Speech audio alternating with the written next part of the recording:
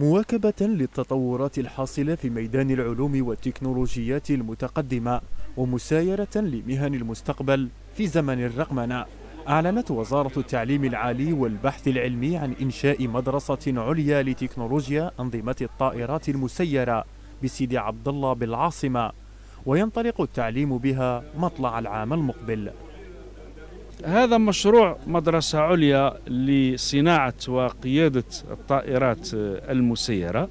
نحن بصدد إعداد هذا البرنامج من كل جوانبه وسيكون إضافة للتكنولوجيا الدقيقة ولتموقع الجزائر في التنمية الاقتصادية سواء على المستوى المحلي أو الدولي. إن شاء الله ستنطلق الدراسة به بعد الانتهاء من كل التراتيب اللازمة لهذا الأمر في سبتمبر 2023 في سيدي عبد الله إن شاء الله.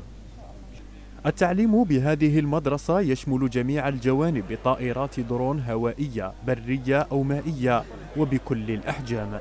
المدرسة العليا لطائرة لطائرة بدون بدون بدون مسير مسيرة.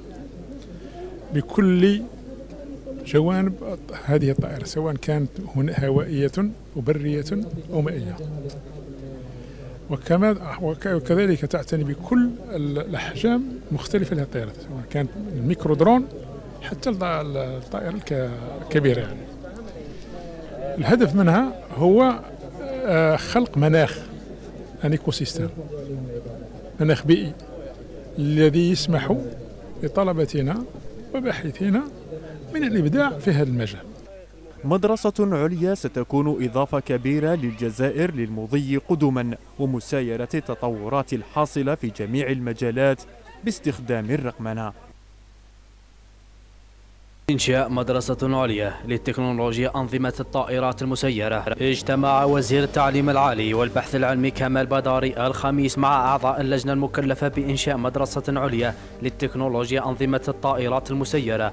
وخصص الاجتماع وفق بيان الوزارة للبحث في وضع برامج تعليمية وتكوينية في ميدان تكنولوجيا أنظمة الطائرات المسيرة وتحضير دفتر شروط وحصر الإمكانية والوسائل البشرية والمادية وكل الموارد الضرورية. ضرورية لانطلاق هذه المدرسة في التكوين.